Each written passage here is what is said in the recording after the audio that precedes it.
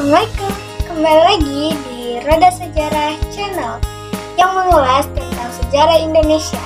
Terus dukung channel ini dengan cara like, comment, share, dan subscribe.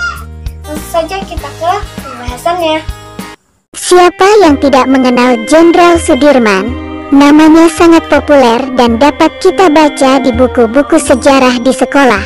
Jenderal Sudirman mengawali karir dengan menjadi guru. Inilah sejarah singkat perjalanan Jenderal Sudirman. Jenderal Sudirman lahir di Purbalingga tanggal 24 Januari tahun 1916. Sebelumnya beliau berlatar belakang guru. Meski lahir di keluarga miskin, Jenderal Sudirman saat itu memiliki semangat belajar dan berorganisasi yang tinggi. Setelah lulus di sekolah calon guru quick Sudirman kemudian mengajar di Cilacap sebagai guru di sekolah Muhammadiyah. Ketika Jepang masuk ke Indonesia pada tahun 1942, sekolah tempat Sudirman mengajar ditutup dan diubah menjadi pos militer oleh Jepang. Setelah itu, Sudirman memilih bergabung dengan militer dan bergabung dengan peta pasukan pembela tanah air di Bogor.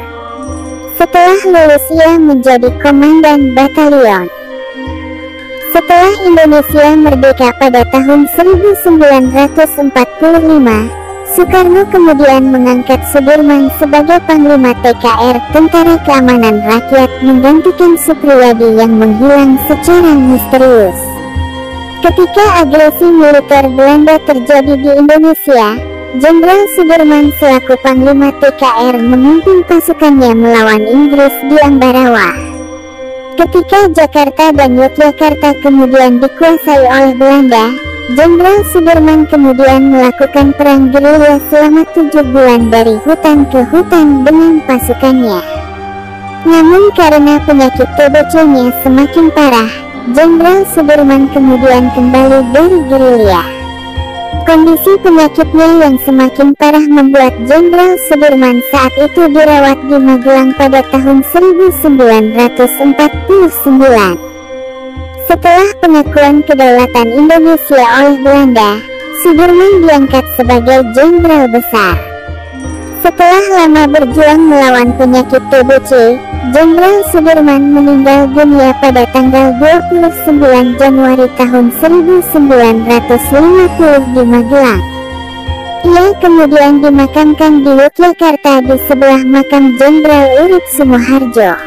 Atas jasa-jasanya, Jenderal Sudirman dianugerahi gelar pahlawan kemerdekaan nasional. Itulah sejarah singkat Jenderal Sudirman.